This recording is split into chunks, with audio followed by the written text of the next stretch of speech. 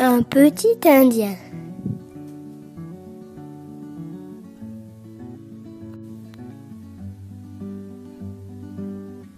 Avec son arc et son carquois, Petit Indien n'a peur de rien. Quand il traverse le grand bois, il sifflote sur le chemin.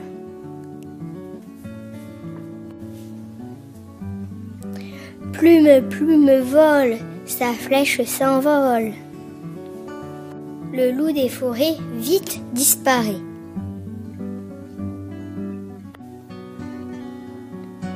Plume, plume sage, sa flèche voyage. Et le gros ours gris s'enfuit dans la nuit.